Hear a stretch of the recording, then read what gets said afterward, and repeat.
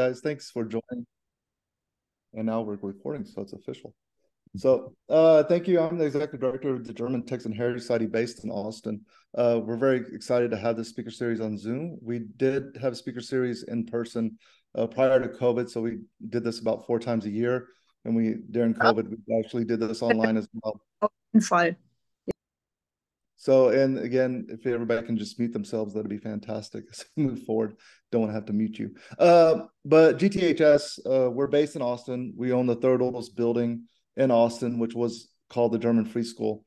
Uh, we still utilize it as a free school. Um, we just the past week had Oktoberfest where we had 1,200 people, tap 20 kegs.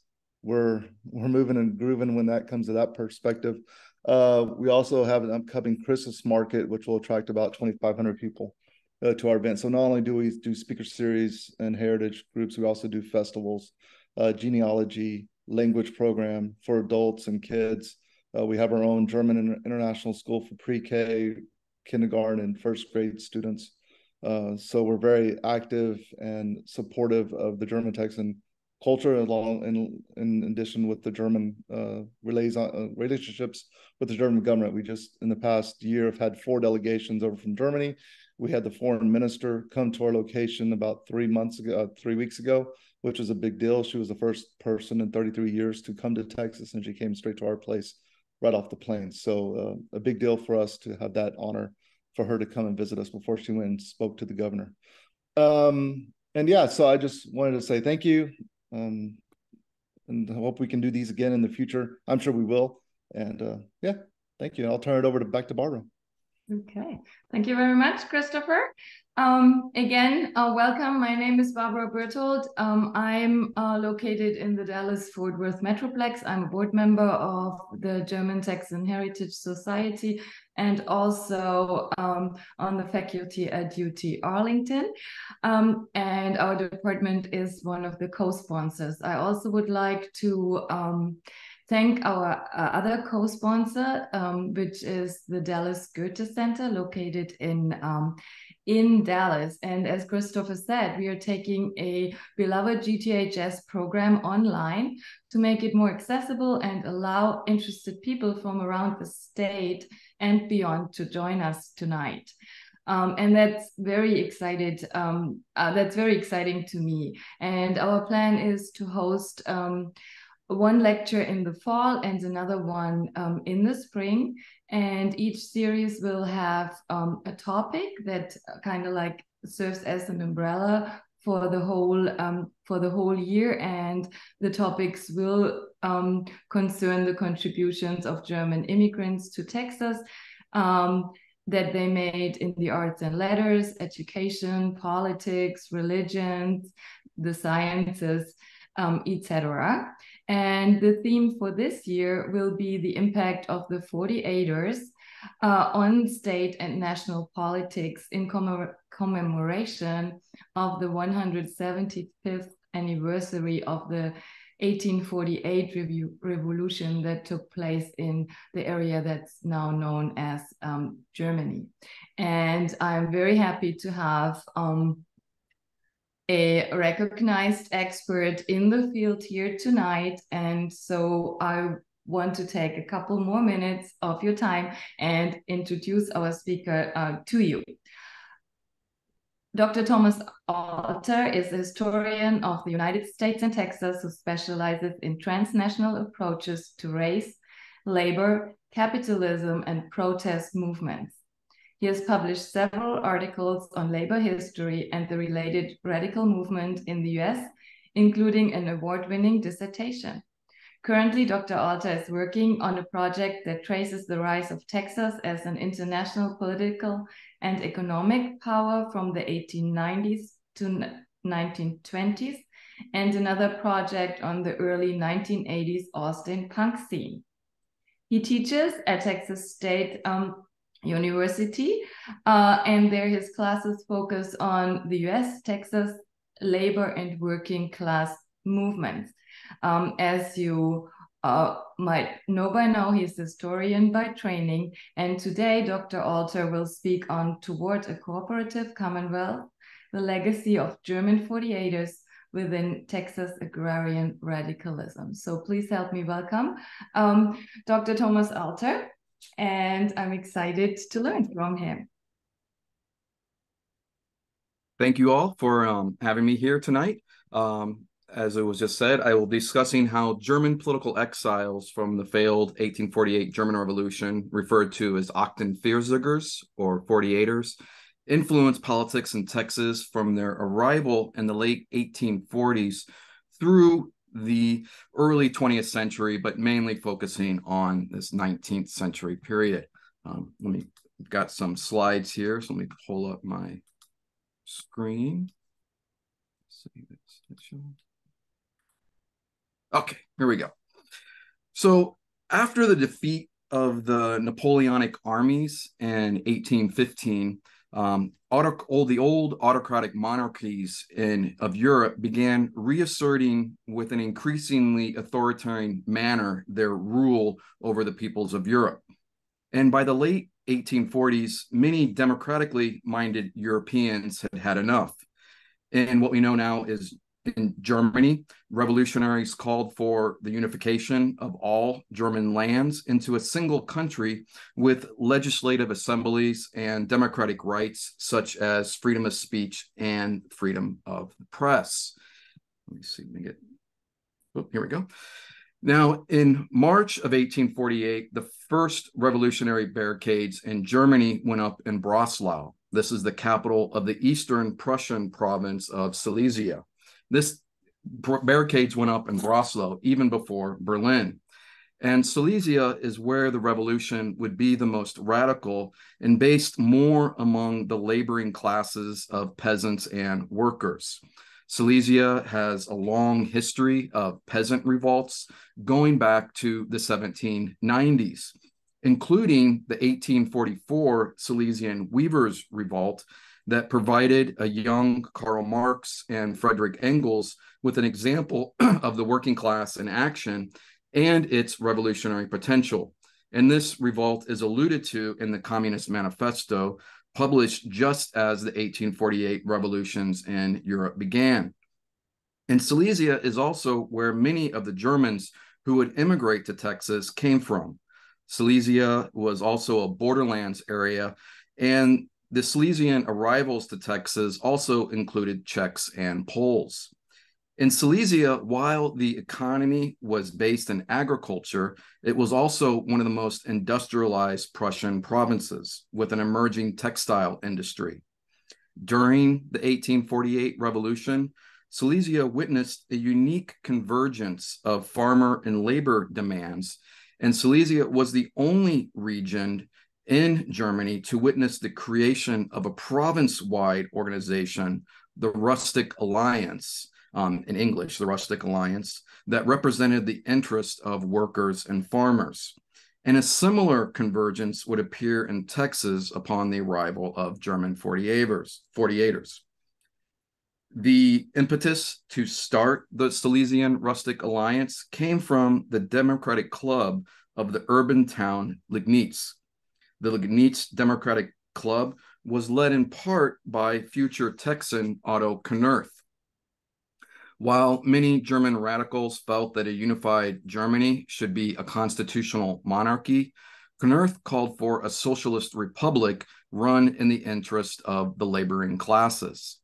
Knerth would marry into the Meitzen family, who would also immigrate to Texas. The Meitzens are the main focus of my research, as through three generations of their family, one can trace the evolution and continuity of agrarian radicalism in Texas, beginning with the arrival of 48ers to the agitation for the abolition of slavery, loyalty to the Union during the Civil War, and the line of independent working class parties in Texas from the Greenback Labor Party the Farmers Alliance, the Knights of Labor, the Populist Movement, and eventually the Socialist Party in Texas. Now, the 1848 German Revolution ultimately fails due to the misleadership of middle class forces in the national assemblies based in Frankfurt and Berlin, who hesitated to take power. This hesitation gave the Prussian monarchy time to regroup and unleash a brutal counter revolution in 1849. With the ongoing counter revolution, many revolutionaries fled Prussia and other German lands, some going to other European countries, most going to the United States, including Texas. By 1850, 30,000 Germans were in Texas, making up 20% of the white population. And Germans would be the largest immigrant immigrant group in Texas and the United States until around 1900. Now, many Germans held romanticized, romanticized images of the United States as a land of political and religious freedoms. Conditions in Texas seemed well suited for German 48ers, and they hoped that the relative isolation of Texas at the time would allow them to form enlightened farming communities where they could keep their German language and culture alive. But missing in this idealized vision of Texas was the reality of slavery. Before the arrival of 48ers, Texas had seen a small but significant migration of Germans to Texas. From 1844 to 1846, a German immigration society made up of German nobles facilitated the immigration of around 7,380 Germans to Texas with the hope of establishing markets for German goods for German goods this market they kind of have a outlet for German goods in the US Southwest and Mexico. And these immigrants are largely responsible for the founding of New Braunfels and Fredericksburg. Among the immigrants that came during this early wave were German intellectuals who fled German lands before the revolution, seeking, seeking to rid themselves of German absolutism. Among those who arrived in Texas during this period was Edgar von Westphalen. This is Karl Marx's brother in law, and he was a communist himself, as well as the Darmstadter group, this Darmstadter group was a group of roughly 40 individuals who set out to establish a communistic colony in Texas. Darmstadt's in um, southern Hesse. Darmstadt's actually where most of my German ancestors are from, but they were not part of this um, communistic um, colony in Texas. Now, Edgar von Westphalen he eventually returns to Berlin, but not before attempting to get his brother in law, Karl Marx, to immigrate to Texas. As we know, Karl Marx did not come to Texas, but stayed in Europe. I always think that'd be kind of an interesting piece of like historical, speculative fiction of like Karl Marx coming to Texas and what would happen. Now, the Darmstadter colony also did not last long. You have a bunch of idealistic young men out in the woods reading poetry and getting drunk can only last so long. Though some of them would go on to make individual civic, cultural, and political contributions to Texas, such as Jacob Kuechler, who was the land commissioner of Texas during Reconstruction when radical Republicans were in charge of the Texas government. Now, when German 48ers arrived in Texas, many had intentions of settling in New Braunfels and Fredericksburg.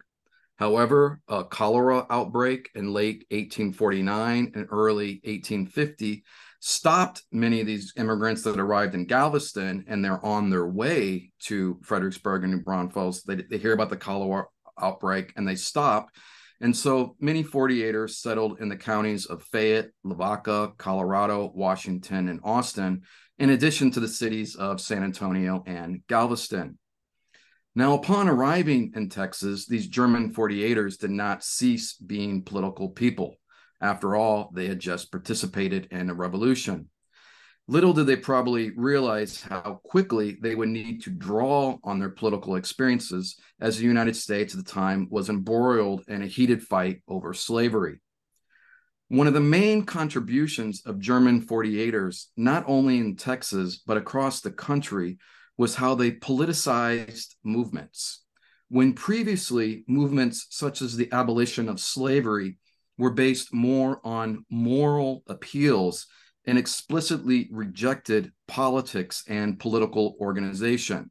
For example, the well known abolitionist um, William Lloyd Garrison, completely rejected politics. He saw the US Constitution as a pact with the devil for allowing slavery to occur. And so they completely did not organize themselves politically. And this is what German Texans and German Americans, these 48ers, contributed to US political culture. Now, in 1853, the National Bund der Freier Männer, or the League of Free Men, which sought to coordinate the political activities of German Americans nationally, called for state conventions to be held in states with large German populations. From December of 1853 to September of 1854, state conventions were held in Milwaukee, Louisville, Cincinnati, Indianapolis, Wheeling, West Virginia, and San Antonio. The San Antonio Convention of Germans took place in May of 1854, and they ad- adopted a wide-ranging political platform. The platform began, quote, we are convinced that the people of the United States do not enjoy the liberties guaranteed to them by the Constitution. We are satisfied that the existing parties have neither the will nor the power to improve the political, social, and religious relations of the country. End quote. The preamble ended by making clear that the intentions of the convention was not to form a quote German party. The 1854 San Antonio Convention declared also that quote the soil should not be an article of speculation end quote and that everyone citizen and non citizens alike should be granted free land. And a version of this would be passed in the 1862 Homestead Act during the Lincoln administration. The platform calling further for, quote, equality of labor and capital and all laws relating to them, end quote. And the convention adopted planks demanding the elimination of debtor prisons, greater protection of immigrants, and a progressive income and inheritance taxes. Judicial reforms included the abolition of the grand jury system and a simplification of the legal system in order to eliminate the need for lawyers. Uh, lawyers have worked with them. so they kind of have their own legalese, their own legal speak that once you understand it, things are usually pretty simple. And so there, here they are, these German immigrants calling for um, a simplification of the legal system so everyone can understand it. Moreover, the platform contended that, quote, it is the duty of the state to provide for the education of the youth. So the early advocates for public education. And the convention delegates demanded free schools and the quote, establishment of universities with admission to all, end quote. Now, these demands were not entirely unique. You had other political conventions across the United States had had such demands. Yet, this was the first time such demands emanated from a political gathering in Texas and the San Antonio platform reached beyond a German language audience. A statewide newspaper printed the platform in English. And the political demands laid out by German Texans in San Antonio in 1854 would reverberate in Texas in the decades to come. Now, although the San Antonio platform encompassed a wide range of economic and social issues, it was the plank on slavery that produced a firestorm. The plank said, quote, slavery is an evil, the abolition of which is a requirement of democratic principles, end quote. Pro-slavery and other conservative advocates immediately questioned the loyalty of German Texans, wondering aloud if they were abolitionist or even revolutionary socialist. And for some German Texans, the answer was yes and yes. Mm-hmm. Now, the rancor over the convention and the accusations of abolitionism hurled against German Texans might have died down if not for the continued agitation of Adolf Douai, a 48er and one of the main organizers of the San Antonio Convention. Undaunted and actually emboldened by the controversy, Douai's newspaper, the San Antonio Zeitung, became an openly abolitionist newspaper. And Douai also created a Spanish language newspaper to enlist ethnic Mexicans to the cause. The San Antonio Convention sparked a nativist anti immigrant movement in Texas, in addition to threats on Douai's life. By the end of 1855, Douai had had enough. He sold his newspaper and moved to Boston, where he was active in the abolitionist movement, opened the nation's first kindergarten in 1859, and became one of the first advocates of Marxist socialism in the United States. And this is at a time when utopian socialism, um, the forming of model communities, kind of most famously Robert Owen's New Harmony, Indiana, was the dominant form of socialism, as opposed to Marxism, which sees class struggle and a working class revolution as the main way to um, bring about socialism, as opposed to this utopian socialism is like, we'll build this perfect community, and then this will be an example for everyone else to follow. Now, for Germans back in Texas, things only got worse as the state moved towards secession and civil war. The middle to the late 1850s was a time of frequent planned slave revolts. In a study of slave insurrections in Texas, the historian Wendell Addington wrote, quote, frequent white support to slave revolts in Texas seems to have come from local farmers and artisans, the poor whites who were also oppressed by the slavocracy.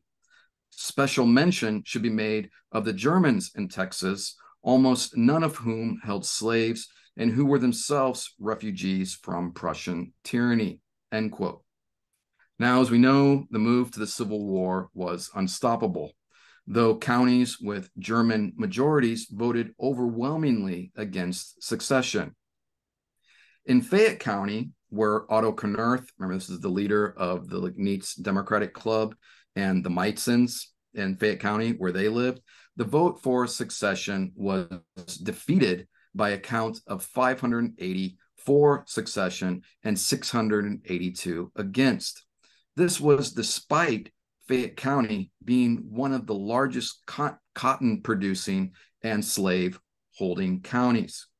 The county's newly arrived German, Czech, and other immigrants proved to be the deciding factor the states' rights Democrat in Fayette County, you can tell from the title of the paper where its sympathies lied, blamed the anti succession vote in Fayette County on, quote, sauerkraut dirt eaters, end quote. Now, the war years were difficult for most Germans, and they were referred to these years as der Hängerzeit, or their hanging times, due to acts of violence carried out against them. German immigrants in the Hill Country organized Union loyal leagues, and a bushwhacker war or a guerrilla warfare enveloped the area of the Hill Country during the war. Now, at the end of the Civil War, German Texans sought once again to exert themselves on the political field. At the same time, so did former Confederate elites. Now, at the end of the war, many Texans hoped to start anew through the cash crop of cotton. The question now stood, though, who would control the cotton wealth? Under capitalism, the primary way to extract profit is through the control of labor. With slavery gone, economic elites needed new forms of labor control. Many poor white people were left landless from the economic collapse of the South during the Civil War. This was in addition to freed slaves who never received their 40 acres and a mule. Many poor Black and white people hoped to climb the agricultural ladder from sharecropping to tenant farming to land ownership. Sharecropping is when you don't own the land and you're paying your rent from a share of your crop. So they're kind of hoping to go from sharecropping to then actually paying rent and then to land ownership. Now, economic elites within the Democratic Party, however, moved to institutionalize tenant farming in the law to their benefit. In 1873, with former Confederate Democrats taking control of the state legislature, the Landlord and Tenant Bill was introduced in the state legislature. The Landlord and Tenant Bill was a clear piece of class based legislation designed to control the state's agricultural workforce and to codify into law the crop lien system to the benefit of wealthy agricultural elites. The law stipulated for all persons um, renting or leasing land that it proposed putting a lien not only on the tenant's crop, but on all of the tenant's personal property as well. If the tenant was unable to pay, the landlord under the bill was allowed to seize, with the help of the local sheriff, not only the tenant's crop, but also the tenant's personal property, with the tenant having no legal recourse. Opposition to this bill, much of it led by German Texans, would be the spark for working class working class based radicalism in Texas that would last until the 1920s. With the introduction of this landlord and tenant bill, many farmers who had supported the Democratic Party began to raise the question of creating a new farmers based party. At this divisive moment, a group of German Texans, including now old 48ers, organized a convention in LaGrange in early October 1873 that brought together disgruntled German Democrats and Republicans. The end result of the convention would be the formation of an independent working class based People's Party to oppose the landlord and tenant bill and as well as calling for free public education. This is nearly 20 years earlier than the more famous People's Party that was associated with the populist movement. The LaGrange Convention adopted a resolution stating we are perfectly satisfied and aware that both present political parties have outlived themselves and their sole objective is to keep up their organization in order to keep the power in the hands of the successful party for the sake of office seekers and holders. Therefore, we deem it necessary to cut ourselves loose from all party organizations to bring the politic body body in a healthy condition again, which we think can only be done by a new party organization, which must be built up gradually and is bound to cut itself of all party organizations. I think that first paragraph can res- resonate with many people today. Now, the resolution also included quote opposition to moneyed capitalists who form powerful corporations and who form coalitions by undue influence on the legislature at the expense of the mass of the people end quote so this is in fayette county and Germans in Bastrop County adopted similar resolutions. Now, Fayette and Bastrop County Germans were not alone in their move to political independence from Democrats and Republicans. They were joined by area Anglos as well. Foremost among the Anglos joining the independence movement was Captain Jesse Billingsley, this person has been largely lost to history during the, question and answer. If someone, I'd be impressed if someone actually knew who this person was. Billingsley is credited by the folklorist J. Frank Dobie as being the first one to cry, Remember the Alamo, remember Goliad at the Battle of San Jacinto. And so here it is Remember the Alamo, one of the most probably famous phrases, yeah, I'd even argue in like world history. But ask someone to name who was the first person to say it, unlikely they would know it was Jesse Billingsley, even though it's Dobie has done the research and found out it was him. He was a highly respected veteran of the Texas Revolution and a participant in the Battle of San Jacinto. Billingsley announced his break from the Democratic Party due to the landlord and tenant bill, and as well as government subsidies to railroad corporations and his support of free public education. Billy Billingsley was nominated as this People's Party candidate for state representative, And for his defection, this once lionized hero was berated as a quote Benedict Arnold and a quote tool for the radicals. Um, being a tool for the radicals had racial connotations, as radical Republicans just the previous year had been removed from office. And these radical Republicans, which included German and African Americans, with had calls for racial equality. So a vote against the Democratic Party was seen as a vote against the white race and for its quote mongrelization. At this time, black political clubs were also being created. Now, this iteration of the People's Party failed to stop the Landlord and Tenant Act, and tenant and sharecropping were institutionalized in Texas. And Billingsley, due to his alliance with these radical German Texans, was largely erased from history. Now, a few years later, the Greenback Labor Party would enter Texas. The Greenback Labor Party was a national merger of the Greenback Party with its calls for putting more greenback currency into circulation and the Socialist Labor Party, led in part by former Texan Adolf Douai, the guy who I mentioned earlier, who started the San Antonio Zeitung. And the Socialist Labor Party had demands for labor rights. So you see a merging of these two organizations. From the political agitation of German Texans in Fayette and Bastrop counties, the Greenback Labor Party, through a black and white interracial coalition, elected a Greenback Labor Party candidate to the U.S. House of Representatives in the district stretching from Bastrop to Galveston.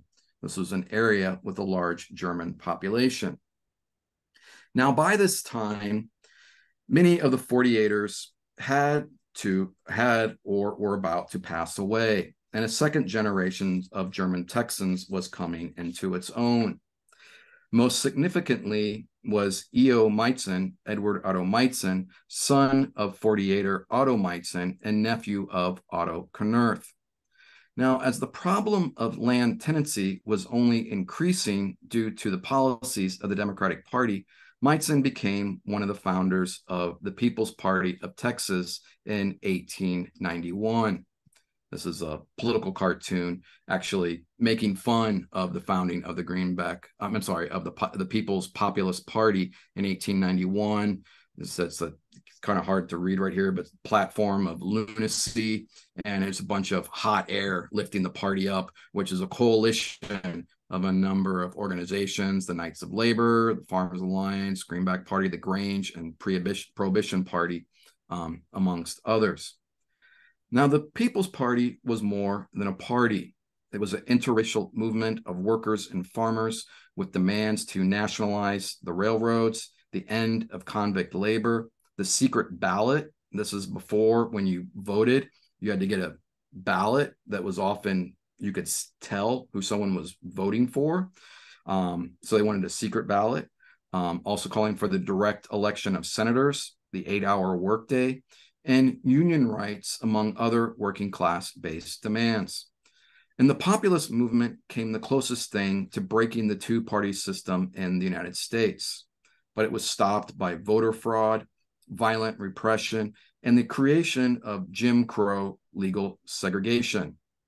This is when Jim Crow came about as kind of a historical misunderstanding that the Jim Crow came about at the end of Reconstruction. Now, there was a strict racial etiquette that had to be followed, but it wasn't law like Jim Crow. And Jim Crow was specifically designed to prevent uh, further unity between poor Black and white people. So you see the legal segregation and restrictive voting requirements to prevent any future interracial alliances over their shared economic and political demands. Though the populist movement was defeated, the problem of Tennessee tenant farm tenancy remained with 52% of Texas farmers tenants by 1910. And among Black farmers, the tenancy rate was as high as 80%. Many Texas farmers then came to doubt the system of capitalism itself. E.O. Meitzen, now joined by his sons and other second and third generation German Texans, along with many Mexican Americans, joined the growing Socialist Party. with the Texas Socialist Party becoming the second largest statewide organization of the Socialist Party, behind only number one, Oklahoma. Um, the Texas Socialist Party called for many of the same demands of agrarian radicals going back to the 1840s. This time, not as reforms of the capitalist system, but to replace it with a socialist system designed to put the working class in power over a society based on human needs rather than profit. The Texas Socialist Party was also more international in its activism, supporting the Mexican Revolution, opposing U.S. intervention in Mexico, and U.S. involvement in World War I. This is a picture from the New Era print shop in Hallettsville, Texas, which is south of LaGrange. And the Rebel, started by the Meitzens, became the third largest socialist newspaper in the country. So here, little old Hallettsville had the third largest socialist newspaper in the entire United States. Um, and here's a picture of Eugene Debs here at the top, the the bald guy, with um, Texas and Oklahoma socialists, and the bearded um, gentleman in the middle is E.O. Meitzen. The Socialist Party, through its activism, made land reform and women's suffrage, women gaining the vote, major issue in major issues in Texas politics when before the main issue had been prohibition. As we know, U.S. involvement in World War I not only brought about a repression of working class radicalism, but a repression of German American culture as well. Now, all too often, third parties such as the People's and Socialist Party are judged by their electoral success. If you look at their electoral success, it's, it's not a success. They usually fail miserably, and the vote counts. But I would argue this is not an entirely accurate measurement.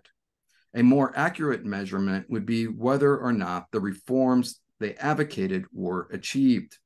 And we should appreciate the contributions of German Texans and German Americans who helped politicize economic, political, and social movements in the United States, helping to abolish slavery, and contributed to Americans gaining land reform, the eight hour day, the secret ballot, the progressive income tax, workplace safety regulations, and union rights. All the while, these German immigrants and their descendants pushed America to live up to its ideals of democracy of and an egalitarian society. So thank you. And little self-promotion. This is my book that has some much of this history in it right here. So thank you. Absolutely. Take a picture, people in the room so you remember it. Or a screenshot. Yeah i'm about to stop sharing so oh, thank you so much um, tom for your um, fascinating presentation.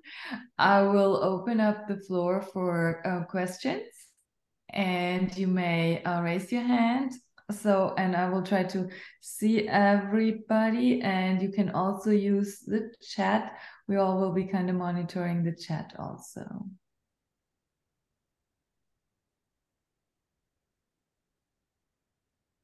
Let's see if I can get the participants here.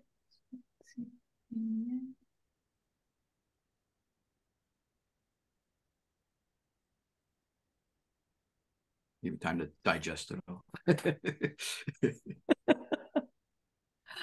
yes. There is a message coming in the chat. Yeah. Okay, from um, I'll just use first names if that's okay. That's how we are at GTH. so from Abigail, um, Abigail is asking what were some of the problems that arose in your research regarding using uh, primary resources? Good question. This took me quite a few years and, and quite a bit of travel. Um, especially, I'm a labor historian by trade, and most working class people don't leave behind archives and leave behind printed materials. Like you can go and you can get presidential papers and or senators or different very wealthy individuals.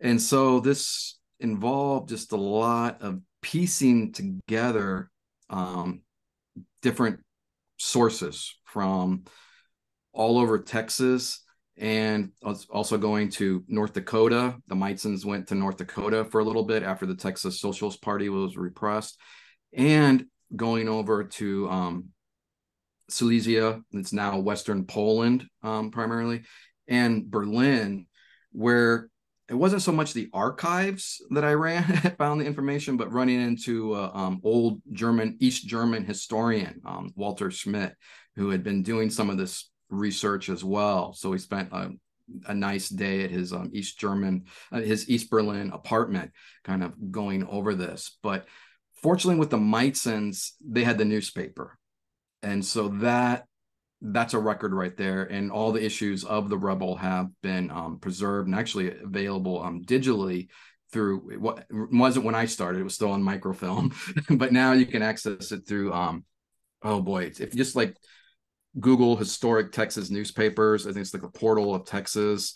Um, it has all kinds of newspapers, but it was a long process of just going to um, Lubbock at Texas Tech, where a lot of papers are stored, and just small archives. Just a lot of patience piecing it all together. So, thank you very much. Mm-hmm. I see Ayana's hand up. If Hi. You unmute, unmute yourself and ask your question. Sure. Hi. Can you hear me? Yes, very well. All right. Uh, thank you. Uh, thank you, Tom. Uh, thank you for a wonderful presentation. I think it's been the second time I, I heard you present on this, and I brought mm-hmm. some of my students oh. who are now listening in, and hopefully they will be listening in once this is uploaded.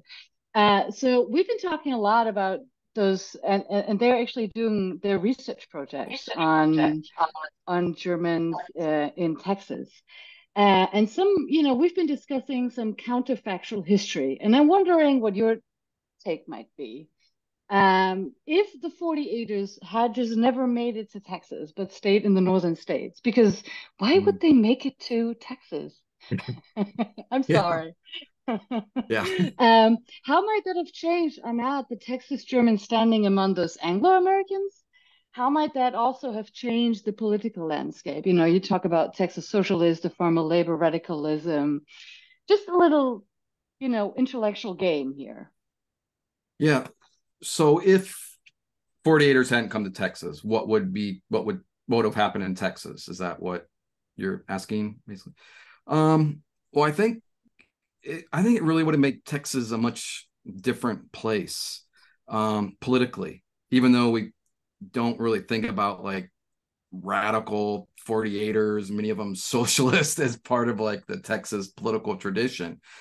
But I think a lot of that is now expressed in kind of this populist tradition in Texas, which um, kind of an anti-authoritarian and kind of more more democracy and kind of a distrust of centralized authority, which I think now has been captured a little bit more by conservatives rather than left leaning people. I mean, you kind of see this populist mm-hmm. rage among many like Trump supporters, even though I'd argue Trump is not a populist, but you do see a lot of that kind of populistic anger and angst over like kind of caused by a lot of economic anxiety. Um, really strong in Texas. And I think that kind of goes back to some of these what it's what it started as kind of left political traditions have now become a little bit more of a right political tradition, if that makes any sense. And so I think maybe you wouldn't have that as much in Texas, and Texas would have been very like similar to other southern states which don't have as much of this um, kind of a agrarian radical tradition, which it is there in other southern states. It's got to be clear. I'm not just speaking in absolutes right here, but Texas has this particular kind of populist um, radical tradition, which I think th- these German Texans really kind of laid the groundwork for. So, did that answer it fully? Was there a second? Is that is that good? I'm sorry if I answered it completely. There's no right answer. Yeah, true. Yeah, it's just speculative. true. yeah, there is one thing Thank that would you. have been. Yeah, for one thing I do speculate on that's not entirely related to this question is um, kind of outcomes of the Civil War, where you had uh, whereas you had the example of Missouri, where you also had 48ers, and there the 48ers um, rose up and seized St. Louis and its industrial capacity, and then kept Missouri out of the Confederacy. And I think we could have had something similar like that happen in Texas if Sam Houston would have acted. But Sam Houston was like, no, no, I don't want blood spelt over just the old man keeping him in office. But if you had a similar thing, you could have had German Texans rise up in San Antonio, seize the arsenal there. You had a number of federal forts in West Texas, and possibly could have kept Texas in out of the Confederacy. That's another piece of speculative um, history. Thank you. Yes, Cheryl, please unmute yourself and just ask you. Yeah. Well, uh, can you hear me? Yes. Good. Yes. Well, I, I, I wanted you to comment on the, the influence of the German Texans from post Civil War uh, through World War One on education. I mean, uh, my studies in, in uh, of the German Texans, uh, it always Im- impacted me in a profound way how um, how important the leadership among notable German Texans was in education because as you said the 48ers they got older and they and they had to pass on their legacy and their political ideology to the next generation but that that only can go so far. Without a firm education system and a broad reading and a broad exposure uh, everything that the german texans stood for was bound in my opinion was bound you know to be eclipsed. So what can you comment on that? Yeah i don't have specifics on just what specific individual german texans did and what their contributions to the education system in texas but as you saw from part of that 1854 platform, if you read the entire thing, it is very uh, large sections of it are focused on education mm-hmm. and the importance of education. Um, and also secular education. Mm-hmm. Um, they're calling for ministers to not be allowed to be teachers. When a lot of that's where a lot of the early like schoolhouses or mm-hmm. few, very few that were around, it was ministers. So they're calling for secular, free public education all the way to the university level. I mean, here's an 1854 calling for universities, and it's not till much a little bit later that you start seeing public universities. But here's the Germans early on advocating for that. And in many of these um, German settlements where kind of more the Anglo settlers come in, one of the first public buildings they built is a church and these German settlements, the first building they built is a school. It was a school, like so, the, Vereinskirche in yeah. Fredericksburg. That exactly. was first of all a, a, a, place to gather for the children for early education. I mean, we're talking the week they arrived. Yeah, I mean, it, was, it was immediate, and and and so that that has always been a profound concept to me is the importance of the German Texans uh, on on not only formal education but at home education. And and and they shared that with the Scandinavians. They yes. shared that with the Czechs and the Wends and the, and and so many other ethnic groups. But yeah. and I think that carried the day to a certain extent up to the Civil War. What do you think I yeah, mean, I mean the Civil War kind of puts everything to a grinding halt when it comes to the German yeah, Texans. Yeah. But yeah, but they do reassert themselves. And like I said, I haven't followed this particular train, but if you look at just even like Texas State, I mean not Texas universities in in our state, they're arguably better than most of like the state public universities across the rest of the South. I mean, I'd say like University of Texas. I mean, Texas A and M. No, mm-hmm. they're, they're really good, I mean, nationally yeah. recognized schools. I mean, compared to other southern universities which more known for their football teams not to they're all good they're good schools and not to me to be like getting on them though but i think i would say i mean that this you have those German immigrants with having a putting a real priority on education. And it was during Reconstruction when you had large numbers of German Texans were actually part of the state government before yeah, they, they were that mm-hmm. before then they were kicked out when Texas was redeemed. That's when a lot of the legislation was passed. Yeah, they, started felt, creating yeah. public. They felt uh, passionately that education should be free, yes. and uh, and and it, it, was in their DNA, and and they they actually helped make compulsory education happen.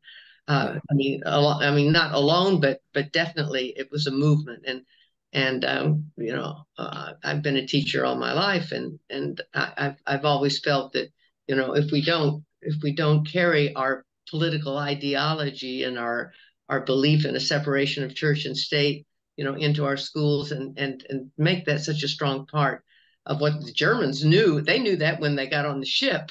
yeah. yeah. But we we we with our religious fervor uh, kind of forgot the importance, even though it's written in our constitution. So yeah. that's a profound part of the German Texan heritage that I'd I'd like to see recognized a little bit more. Yes, for sure. Yeah. And incidentally, I'm a graduate of Texas State University. Oh. yeah. I got a master's degree in German uh, oh. uh, 95. Oh, okay. Cool. Texas State. So, and I've been in German. I'm I'm a past director of the German Texan Heritage Society. Oh. So I have a deep interest in in the organization and its work. And nice. thank you. And I've, oh. I've been listening to every word that you've said. I'm sitting here listening, and uh, I'm working a a, a puzzle. Um, and and while I was listening to you, here's the puzzle I'm doing. Oh, it's, it's crazy. so it was really nice to, to hear you and to, yeah, and to keep my mind focused. I do puzzles too. Not while I was doing this talk though. I can't do that. well, thank you. Thank you. Thank I'm gonna too. I'm gonna click out. Thank you. Any other questions?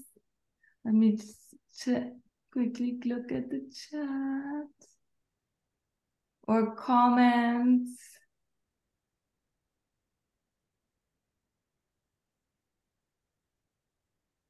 For speaker.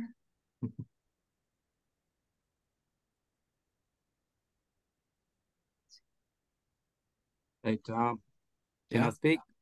Without yes, raising my hand. hey, hey Tom, there's a direct line from the 48ers through the progressive movement of the World War One era, but when you read the literature on it, they seem to have been forgotten and it's overlooked. Why do you think that is? That's a good question. That was one of the frustrating things that I found, and then what I uh, seeking to correct in my book because I mean that's how you're taught. There's the the there's the progressive era. There's this they all there's they're always taught as these separate things. Like there's the populist movement and then the socialist party. And of course, the socialist party has no connections whatsoever to the populist movement. they're always taught as these very separate chapters. Now, I don't. I mean, there isn't. I don't think there's necessarily like a. I don't know. I hate to call it like a conspiracy or something out there but I think it's just part of like how this like overall portrayal of just like third parties and protest movements is just these um Don Quixote esque things. Just oh, they're just tilting it um, windmills and you're just throwing your vote away if you support any of these movements.